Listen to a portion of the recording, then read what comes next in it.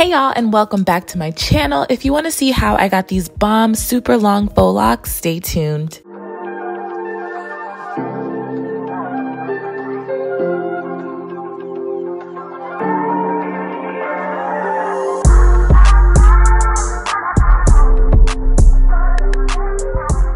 You're like me and love long hair, I'm gonna tell you now, Bobbi Boss did their thing when it comes to these faux locks.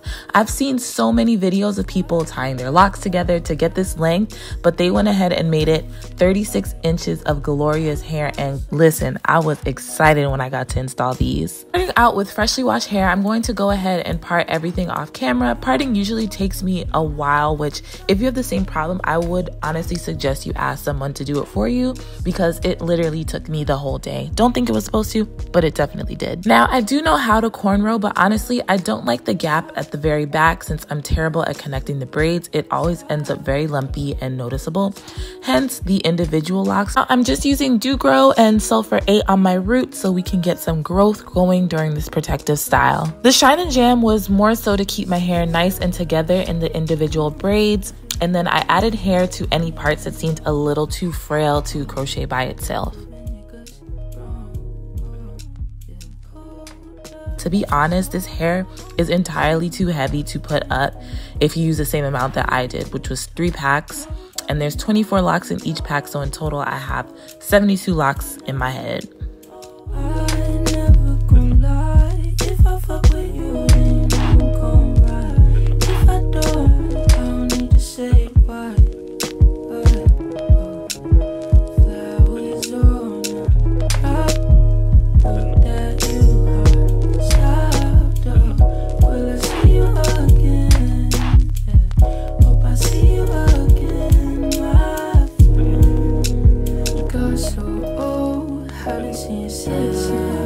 As far as the install goes, I use the regular crochet method, pulling the lock through the root, then grabbing both my hair and the end of the lock and pulling it through the crochet to create the knot.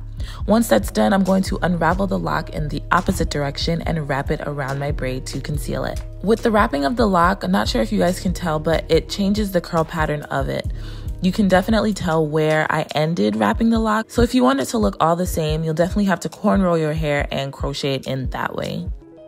Now, I have had this hair in for a few weeks, so let me give you guys the rundown. As with any protective style, the longer you wear them, the more natural it starts to look. However, it does start to tangle together. And for this amount of hair, it is damn near impossible to put it up without your neck giving out on you, honestly. So, washing your hair is definitely a bit of a problem, but not impossible. And if you have any problem spots with thin hair, even braiding it with extra hair sometimes feels like it's not doing what it needs to do because of the length of the lock. Some of my parts definitely should have been added together, but I was super focused on it being even on both sides and using all three packs. Also, it tends to snag on like any Christmas decorations, doorknobs. Sometimes it gets stuck in the door, which is, you know, to be expected. Not to be expected, but kind of to be expected with longer hair. Money, money,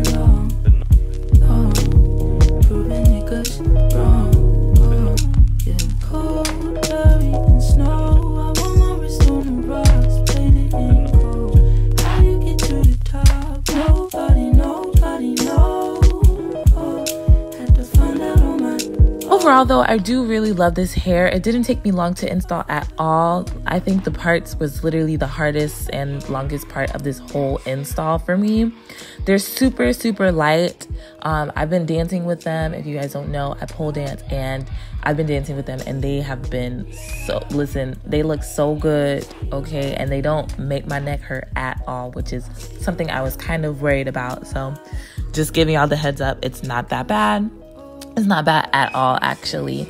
And overall, they just look so good. And I've had them in for a couple of weeks now, and they just look so natural. I absolutely love them. Anywho, thanks so much for watching, guys. Make sure you subscribe, share, thumbs up this video. Leave some comments below on how you're feeling this hair. Are we loving it? Are we not? You guys should definitely try it, and everything will be linked in the description box below. Again, thank you so much for watching, and I will see you in my next video. Bye!